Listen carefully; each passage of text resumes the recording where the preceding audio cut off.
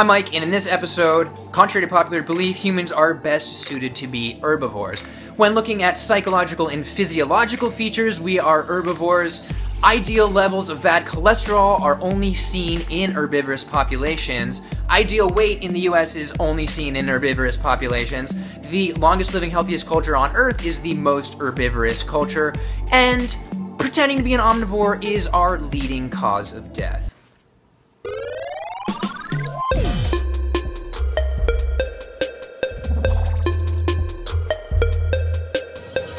Let's be straight, the herbivore view is a very unpopular opinion. Virtually everybody believes that we are omnivores because they themselves are behavioral omnivores. But just because somebody eats meat does not make them an omnivore. Take an animal that is an undisputed carnivore, the cat.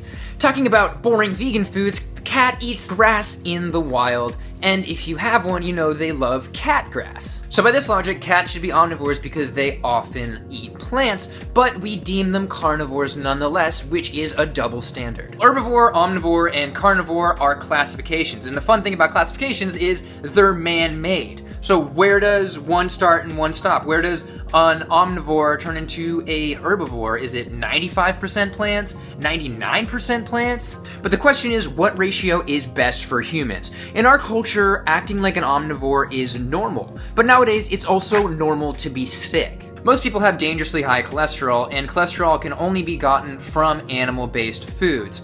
And even paleo doctor himself, Loren Cordain, says that the ideal level of LDL or bad cholesterol is between 50 and 70. It's the level that our ape cousins have, it's the level that human babies are born with, but when looking at real people, the only ones with these levels are people who elect to be herbivores as a result of their vegan diet. In the Western world, most people are also overweight, but as this chart shows, the herbivorous people are the only ones that average in the normal weight range. Let's look at our psychological herbivore traits. We hate the idea of blood and guts, gore makes us sick, slaughterhouses are like horror houses to the point where it's illegal in certain states to film them in any capacity because we're so disgusted by it that it hurts business. But take an omnivore like a bear and put it in a slaughterhouse, and it sees a buffet. Let's play a quick, non-graphic game called Cuddle or Kill. I'm gonna show you a picture of an animal, and you can decide whether you wanna kill it and eat it, or cuddle it. Here's a cow. Cuddle.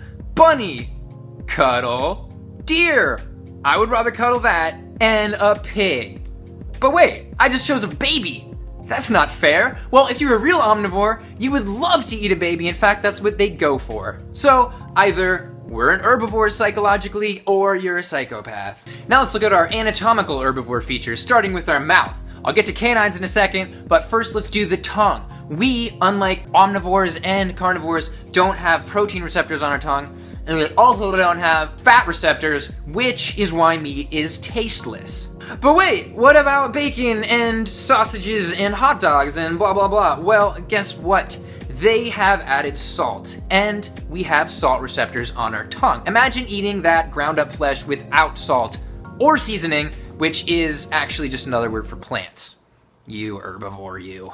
Now let's look at jaw structure. Like other herbivores, we can move our mouth side to side. Animals like your dog cannot do this, which is called mastication. And then also, if you're looking at other predators and, and omnivores, they have shear-like jaws where their molars are out of line so that they can just chop bone like, like garden shears. Our molars, of course, are directly on top of each other. Omnivores generally have large mouths and throats for their body size. Herbivores like us have smaller mouths and throats. So animals that are designed to eat meat don't choke on it very easily. And I know what you're thinking, humans are special, we've got forks and knives, so we don't need a giant mouth to eat meat. But from this study done in San Diego that looked at over a decade of choking data, quote, the most common specified food objects that victims choked on were meat products. Now for our digestive system, omnivore stomachs have a pH around 1, which is very acidic for dissolving bone, while we have a pH of 4 to 5 like other herbivores. Omnivore stomachs usually make up for about two-thirds of their digestive tract, our stomachs only make up for about a quarter of our digestive tract, just like other herbivores. Because of this, a hungry wolf can eat 20 pounds of meat in a single meal, which is the equivalent to a human eating 100 hamburgers. Research on our gut bacteria support our herbivore nature, like this study with quote, the vegan gut profile, which is the herbivore gut profile, appears to be unique in several characteristics, including a reduced abundance of pathobionts or potential pathogens and a greater abundance of protective species. And this study shows that quickly after increasing meat intake, our gut bacteria switch to more potentially pathogenic bacteria associated with colitis, leading one of the researchers to say, quote, I definitely feel a lot more guilty ordering a hamburger since doing this work. The most dramatic difference between us and omnivores may be the length of our intestines compared to our body. For omnivores, this is generally four to six times, and for us, like other herbivores, is between like 10 and 12 times our body length. This is huge because it forces our body to deal with the cholesterol in meat, dairy, and eggs that an omnivore would otherwise be able to quickly slough off out of its system. This issue brings me to the many doctors and researchers that believe humans are herbivores. But I'll just highlight one doctor, William C. Roberts. He headed the Pathology Center for the Heart, Lung, and Blood Institute at the National Institute of Health for 30 years and has authored over 1,500 papers, nearly all peer-reviewed. He says, quote, when we kill animals to eat them, they end up killing us because their flesh, which contains cholesterol and saturated fat, was never intended for human beings who are natural herbivores.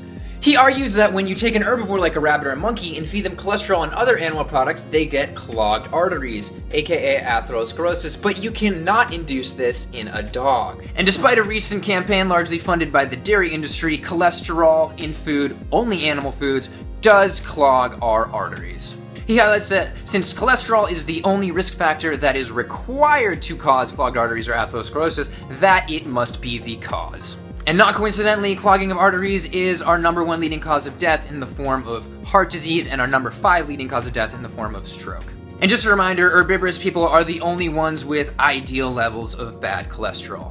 To emphasize how bad eating like an omnivore is for us, we can look to the Nazi occupation in Norway. Their deaths from circulatory diseases were going on like normal until 1940, where the Nazis came, took away all their livestock to feed their armies, making them more herbivorous, and all these circulatory diseases in 1940 just started dropping astoundingly until 1945 when the Nazis left, where it shot right back up again. And there are other ailments that are caused by thinking you're an omnivore. For example, diverticulitis, where you don't have enough fiber plants, you don't have enough plants, to the point where your intestines have to put so much pressure to get things moving that they actually billow out and sort of rupture out to the side. And then there's constipation, and I don't know about you, but every herbivore I've ever talked to has zero issue with this. Now let's look at some of the most common omnivore arguments. We'll start with canines. People who wholeheartedly believe this are out of their mind.